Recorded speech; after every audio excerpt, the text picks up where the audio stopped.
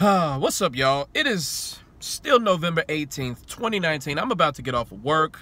Um, I'm just uh, just chilling in my car for the last couple of minutes, and I'm ready to get the fuck out of here. I'm ready to go home, see my wife, eat some food. I'm just ready to take my ass home.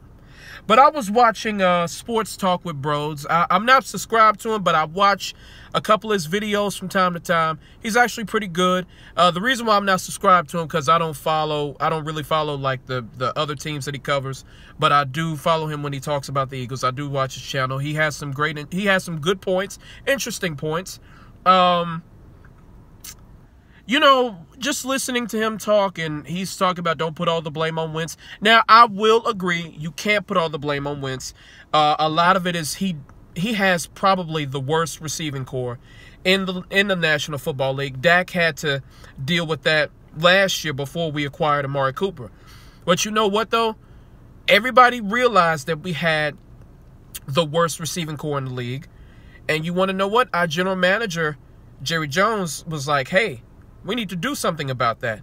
So why don't we just go ahead and spend a first round pick on Amari Cooper?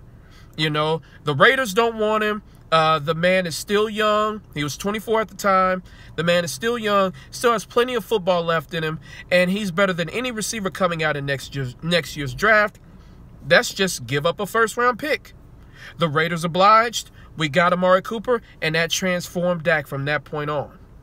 Okay, you know, the Eagles general manager, um, um, Howie Roseman, could have done the same thing this year with the Jets. He could have spent a second round pick on Robby Anderson. I keep harking back onto this because I'm tired. Okay, Carson Wentz does not deserve all the blame, of course.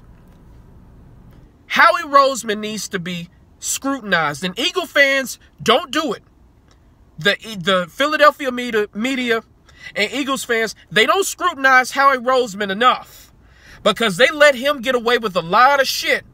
They don't scrutinize the draft picks. They don't scrutinize the free agent acquisitions. They don't scrutinize anything. They think Howie Roseman can do no wrong. I hate the Eagles, and everybody knows that.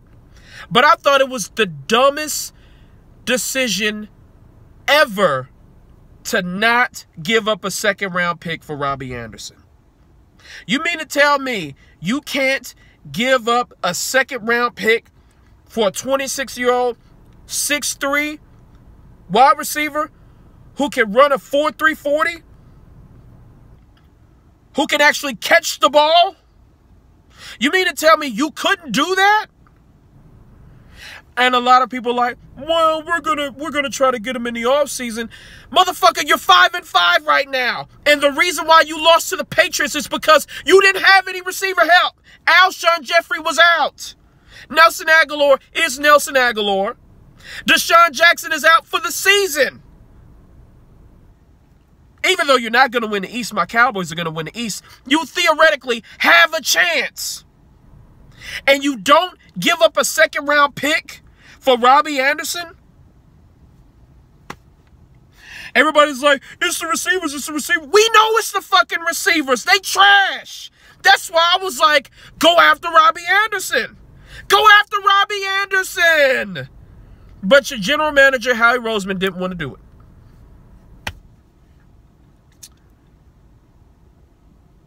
That's on y'all. That is on y'all franchises and management can make or break a quarterback.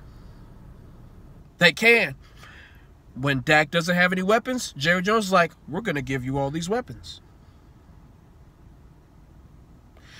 When Carson Wentz doesn't have any weapons, uh, we'll just wait till next year.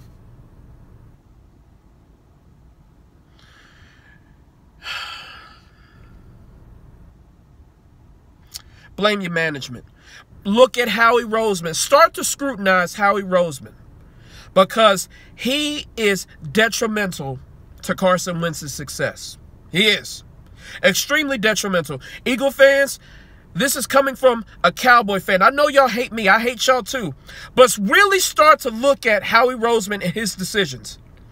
To not go after Robby Anderson was one of the dumbest mistakes you could have made all year. Follow your boy on Instagram, Jarrod John 1991. That's J A R R O D J O H N 1991. I'm going to catch you guys later. Peace.